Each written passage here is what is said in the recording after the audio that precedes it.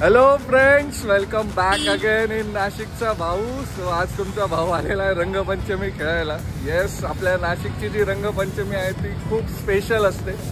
कारण इथे रहाड संस्कृती फॉलो केली जाते. सो मी विचार केला की आपण तर एन्जॉय करणारच आहोत. आपण आपल्या व्ह्युअर्सलाही ते दाखवूया. सो स्टे ट्यून सो आम्ही गाडी रेड क्रॉस सिग्नलला लावून लगेच जुन्या नाशकाकडे पायी पायी निघालो.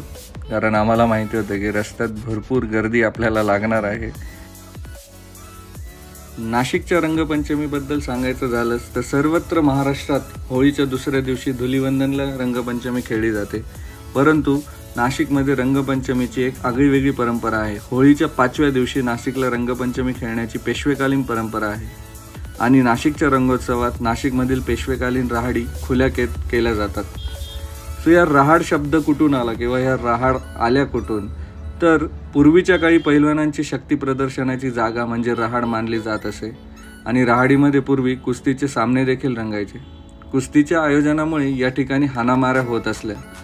आणि त्या हाणामाऱ्यांनाच मे बी रहाडा हा शब्द प्रचलित झाला असावा.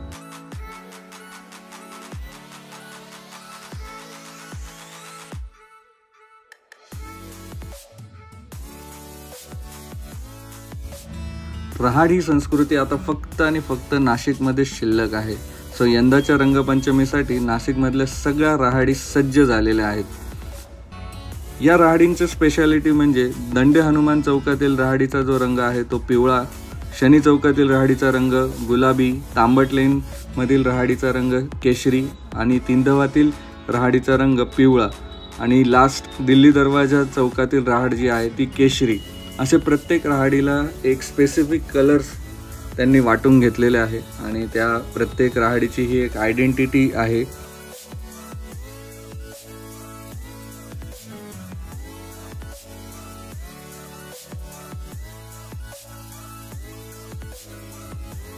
सो जुन्या नाशकामध्ये प्रत्येक चौका चौकात असा रेन डान्स सुरू असतो डी जे सुरू असतो आणि रहाडीमध्ये कुदण्यासाठी तर बापरे प्रचंड गर्दी आणि लाईन लागलेली असते. सो ही आगळी वेगळी रंगपंचमी मला तुम्हाला या व्हिडिओच्या माध्यमातून दाखवायची होती. सो स्टे ट्यून पूर्ण व्हिडिओ बघा. तुम्हाला नाशिकच्या रंगपंचमी बघून खरंच खूप छान वाटेल.